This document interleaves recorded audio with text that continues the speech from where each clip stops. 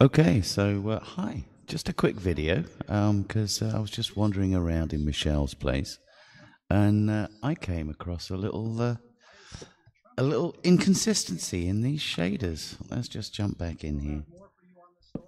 Oh no, don't want to do that. See, water is very nice generally, and uh, we go out here. We even have um, puddles and all sorts of stuff. However, there is one block. There is one block where the shader doesn't convert the water. And that's this one, the cauldron. Look at that. Ooh. Now, I don't know if it's because Michelle keeps her dirty socks in there or, or what, but that's just not right, is it? No. Thank you, B.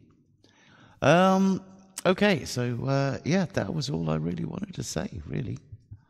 So um, I shall. Uh, now, I've, I've, spent the last uh, few days setting up um, OBS as uh, an alternative to XSplit.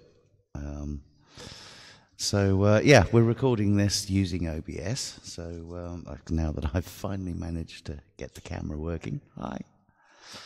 Uh, still got a little bit of work to do on the uh, style sheet to uh, get the chat up in the side so that I can uh, have you guys also on the stream as well. Um, so people can uh, who watch later can see what I'm reacting to. Um, anyway, so yeah, that's um, that's more or less it.